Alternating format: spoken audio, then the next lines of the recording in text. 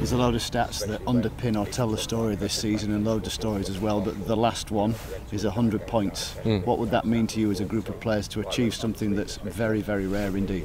Yeah, I think it's something that can never be taken away from you. You know, teams get promoted and teams win leagues, but like you said, it's very rare for teams to get 100 points, and I think it just it, it makes it look that extra bit special. Um, you know, whatever happens Sunday, it's been a special year, uh, but that'll be the icing on the cake if we get 100 points. And the next bit is you get your chance to test yourself at championship level with all of the, the threats that will be in that division. Yeah, definitely. You know, it's not something. Obviously, it'll be an amazing year next year, but it's like I said, I want to get next, this weekend out of the way first, and, and then the, over the summer you'll get to look at the grounds where we're going to be going. You know, the big teams and maybe Middlesbrough, Sunderland, and, and, and things like that. But for now, it's just making sure that we turn up Sunday. It's not going to be an easy game.